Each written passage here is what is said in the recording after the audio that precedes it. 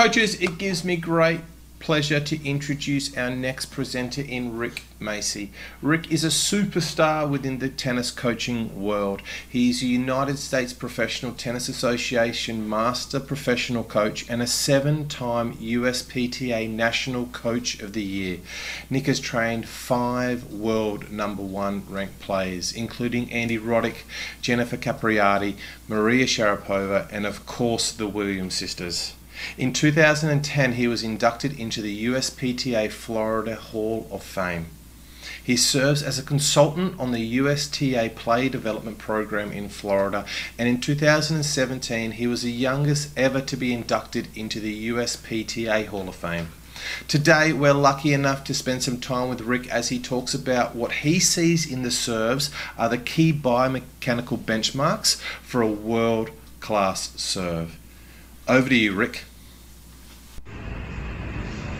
Hey guys, Rick Macci here. I'm going to get into the serve. Okay, I'm going to try to go start to finish. I'm going to try to go over a lot of key elements on the serve. This can be a little bit tricky. I feel the serve, it's the number one misunderstood thing in tennis. There's a lot of moving parts, and I know depending on the level, depending on the level, you know, progressions you got to go through, but I would like to give a holistic, uh, big picture look and go over some of the big ticket items that I feel are kind of misunderstood. And I know there's all different kinds of level of coaches that are watching this. Some of the things I'm going to say are kind of vanilla, but let me go through. Uh, I'm actually in my office. I just jumped off the court. Sorry I couldn't do this on the tennis court. Um, but I wanted to get some stuff out for you just so you can kick it around and you can add some of this stuff to your toolbox. Some of it could be definitely a game changer.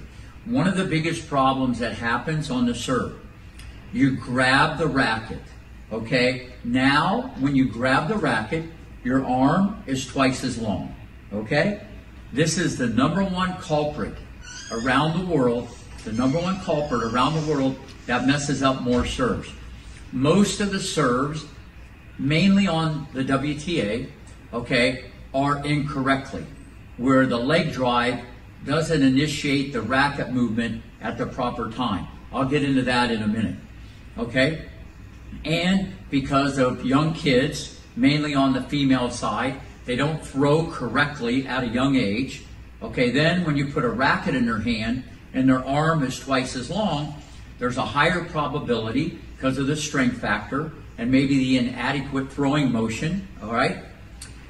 When the racket goes back, it goes in too soon. I'm going to get into that in a minute. But that is the number one problem because your arm is twice as long. But then you could take the same player and just put the ball in their hand and maybe have them throw, and the, the hand is going to stay on the hitting side. And because they don't have a racket to generate momentum, okay, there's no real uh, thought in their head to say, oh, I got to take it back farther. So when they just have a ball in their hand, the leg will initiate the throwing action. The power comes from the ground up, through the leg, through the hip, through the shoulder, and out the arm. So when people throw it, if they're throwing it correctly, the leg drive usually initiates the racket speed. If you not, no one would throw like this they would throw like that. But what I just did, my leg came up, my hip turned, my shoulder turned, it came out of my arm, and I threw it.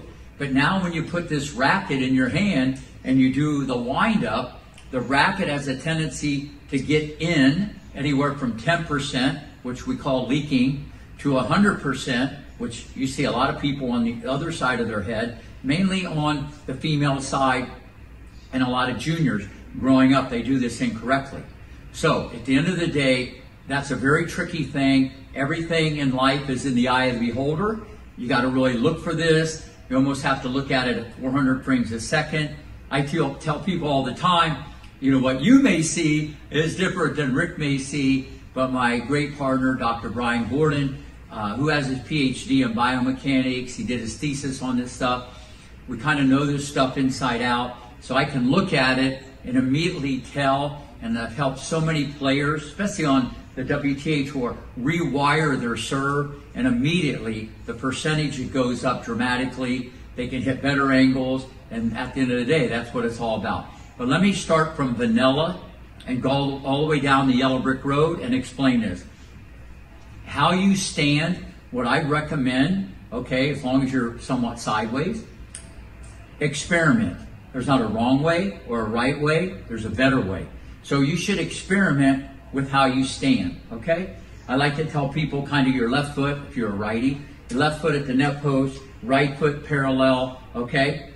And you always want to be sideways. Obviously, you don't be facing the net. That's kind of vanilla. The grip, slide it down, continental, you go eastern backhand, always check the grip. Because if you don't have the right grip, all right, ground strokes, a little different, because you got some variations on the menu. You can change, you know, you got Western, semi-Western, you know, uh, a hybrid, you know, there's a bunch of different ways on the ground stroke.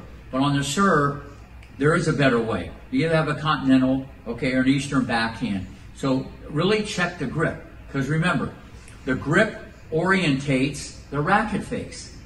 So if the grip orientates the racket face, that could be a game changer. So the number one thing I look for especially with younger kids or whatever, when they take the racket back, that the entry, okay, forget what I said earlier about the whole timing. I'll get into that again. The edge of the racket, when you come in, the edge should come in. When the racket goes that way, which a lot of you guys see all the time, waiter, frying pan, pizza, whatever you want to call it, which we call external rotation, okay, then when if it goes in wrong, if the racket goes in wrong, what happens is, even if you did the timing better, it doesn't go down as far, it won't come out as far, it's going to start to what we call turn the other way or pronate too soon, okay, and you'll never optimize or you'll never maximize the racket speed coming all the way through the body to snap, crackle, pop. It's never going to happen. So the entry, how you how you enter is a game changer. So if you got to start people there, I get it. If you got to start people there, I get it. But this thing has to come in the right way. That's probably the number one culprit that I see with younger kids because they want to kill it. And so the racket kind of goes this way. All right. So do it in progressions. It's the best way to put Humpty Dumpty together. You know, I always do things in progression, step by step by step by step. I could go on and on and on. You know, Roddy, had a lot of external rotation. VW had a lot. Serena actually had a great natural throwing motion. Had to do a lot of work with Capriati serve because uh, she was very mechanical. So it's not one size fits all. But this is more about the mechanical part I'm talking about today. Now, how you take the racket back. Not a wrong way or a right way, a better way. Some people, maybe you want to just have more of an abbreviated take back. You know, Roddick went up right away and then he loaded the system. Maybe you had to have someone spread a little bit more. That's really up to you guys. But what I'd recommend is this. When you take the racket back, okay, the arms kind of go down together, they go back together, but here's the key. And I see this a lot, especially with young kids, more on the female side. You want to get in the power position. Shoulder, shoulder, elbow. And you want to feel this cocked back. Okay, cocked back, but on the hitting side. Way too many times the kids end up here. Okay, they're going to open up so quickly. You're probably even saying they're opening up. That's a symptom. The reason why they're opening up this way is because this isn't far enough. There has to be a coil and a recoil. So you want to get in that position. That's why looking at video of the best of the best of all the rest, show the kids video a picture so they can imitate a picture instead of you explaining things for six months, okay? So you always want to be shoulder, shoulder, elbow. This will never change. Now the angle might change. You might go deeper, but this angle never changes. Be careful of this one. The kids go back, the elbow goes up too high and then comes back down.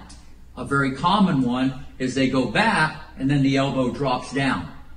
Just because the ball goes in doesn't mean it's a good serve.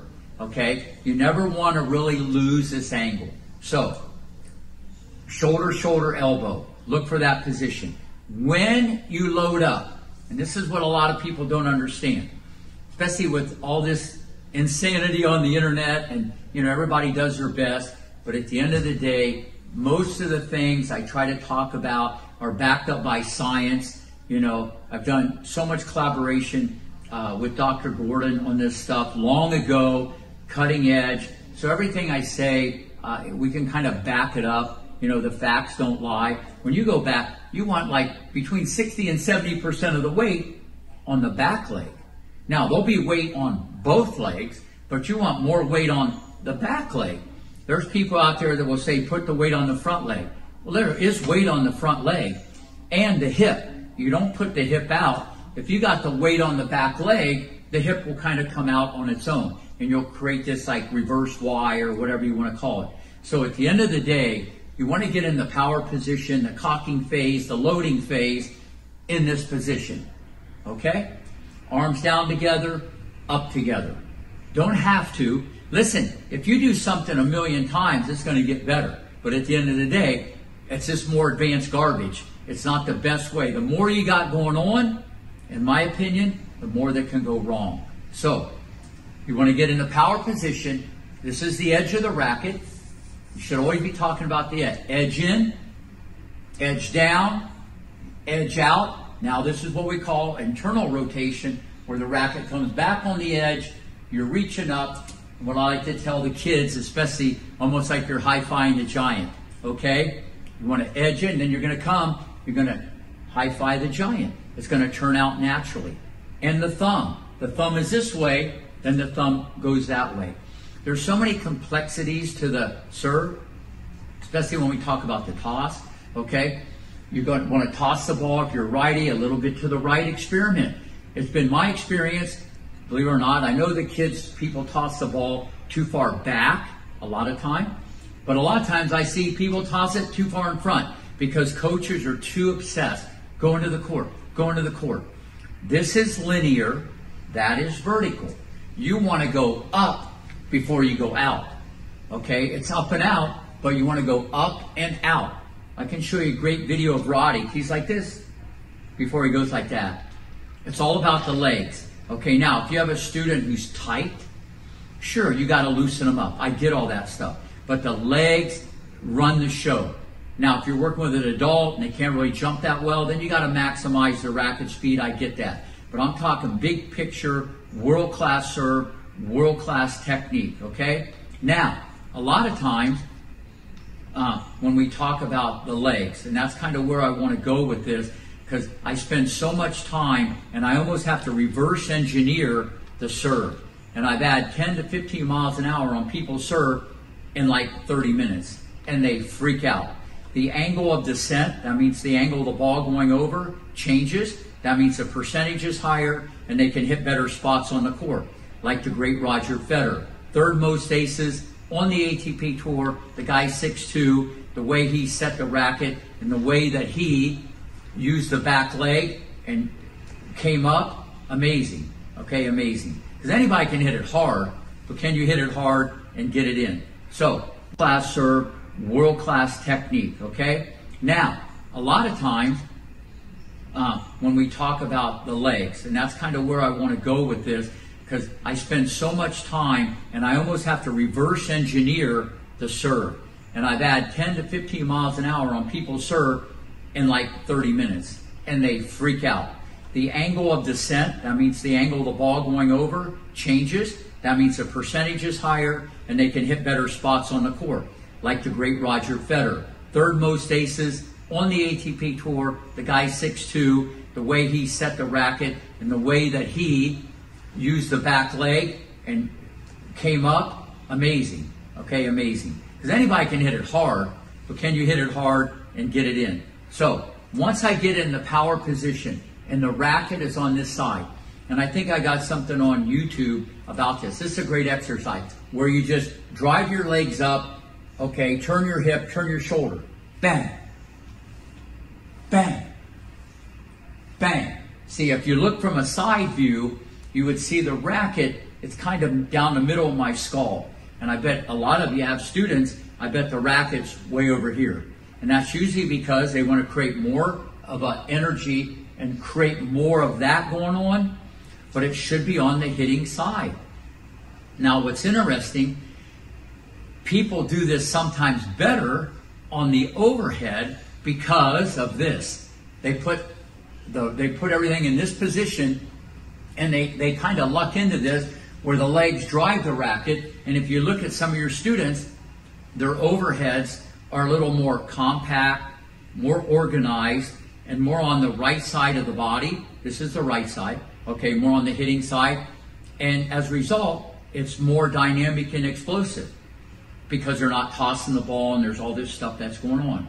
So at the end of the day, very important that if you if I could say one powerful thing, it's the number one mistake around the world. It's the number one mistake on the tour, especially more on, on the WTA side, where the racket is in too soon before the legs dry. Where you see the best servers in the world. The racket's on this side where the leg drive initiates. That means the leg drive makes the racket go in. This is very hard to see with the human eye. This is kind of advanced. I work on this more than anything. I put people on probation. What I mean by that, not real probation. I put the racket here and I go do this step by step by step. A lot of times, and I know we're not supposed to say the word jump, because if you bend and go up, I tell people to jump too soon. How many times have you had a student jump too soon? Very seldom. Almost every one, their legs go too late. But we can't see that because we're so programmed, okay? And a lot of this stuff, you know, people got away with it. People got away with it the last 10, 20, 30, 40, 50 years. Now that we can see all this stuff and we understand it better, okay, this is very, very important that you understand exactly um, what I'm talking about. So have your student jump and then hit the ball. I know that sounds crazy. But to serve, believe it or not, is more like a volleyball spike, okay, or a karate move than it is la la la la la la. Then all this. This is window dressing. How you get to the moment of truth, that's an idiosyncrasy, that's a personal interpretation, how each person wants to do it, how they want to start the racket. I don't want to get into that. We could be here for hours, okay?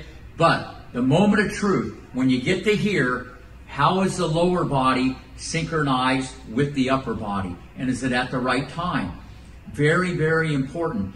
Because if you look at it, a lot of the serves on the men's side, they look different, generally speaking, than on the women's side. The men's serve look like their stroke is shorter and it's more explosive. It's because it is, because it's biomechanically correct because the legs drive at the right time and it's on the hitting side. It's almost like the ATP forehand opposed to a WTA forehand. That's a whole nother video also.